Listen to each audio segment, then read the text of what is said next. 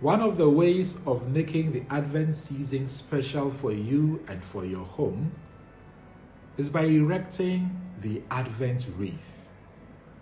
The Advent wreath is made up of a circle of evergreen leaves in which I inserted four candles.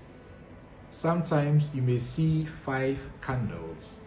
Whenever there are five candles, the final one, which is in the middle, is always white and is lighted on Christmas Day. The four candles are usually made of three purple candles and then one which is rose. Now, the three purple candles and the rose candle all have their significance. The first week, when you light one candle, the first candle represents hope. The second one represents faith. The third one, which is always the rose one, represents joy. And the final one, which represents peace. You can make this season special by erecting this wreath in your home and becomes the family point of gathering once a week to light a new candle, as well as a family point of gathering when you are having your daily devotion. Because when you light one candle for the week and you gather around this candle, that becomes your prayer intention. So the whole week you are praying for hope that none of you would despair or become despondent. The second week, you are praying for family faith, that all of you grow in faith. Lord, increase my faith. The third week, you are praying for joy. Give me joy in my heart, keep me praising. The final week, you are praying for peace. Peace in the home and peace to all you meet.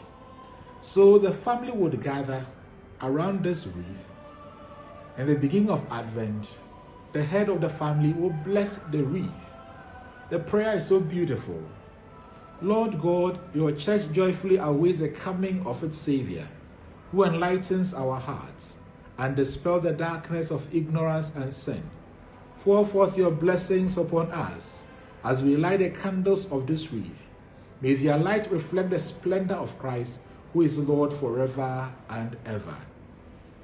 So, this prayer and others like it will also invite God to bless your home, even as you're observing the Advent season. So I encourage you, put up a wreath, an Advent wreath in your home. It's a way that as a family become intentional about this Advent season.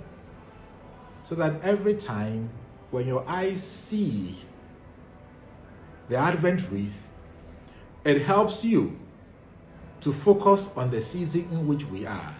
And when you come to church, that whole family celebration is translated to a wider family celebration of that of the church. And together, we all prepare for the coming of the Messiah. So let us see you sending us pictures of your Advent wreath. That would be nice. We can put them on our parish website or on our WhatsApp pages and it will be our collective celebration of this year's Advent season. Thank you and God bless you.